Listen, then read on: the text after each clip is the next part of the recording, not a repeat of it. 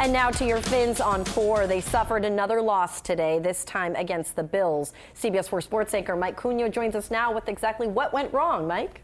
Well, Natalia, just about everything for the second straight week. There was little reason to celebrate as the Dolphins allow another opponent to rack up some serious yards. The Dolphins were looking for their first win in, in the division, but come home empty handed. Why?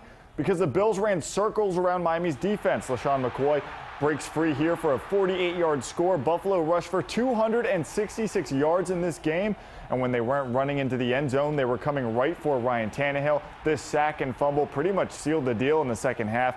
Tyrod Taylor and Sammy Watkins would unload for a 44 yard bomb to put away the Fins for good in the 33 to 17 beatdown. Now, coming up in sports, we'll hear from the team on another blowout loss to the Bills and what it means for the rest of their season. Natalia? All right.